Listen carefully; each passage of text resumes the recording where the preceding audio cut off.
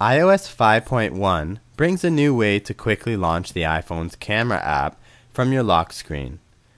Previously, a double press of the home button would reveal a small camera button that you could tap to launch the app.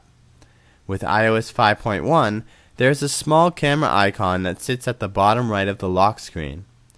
If you slide the icon up, it will reveal the camera app. To close the app, you can just swipe down from the top bezel to return to the lock screen. You can visit iClarified.com to learn more about iOS 5.1.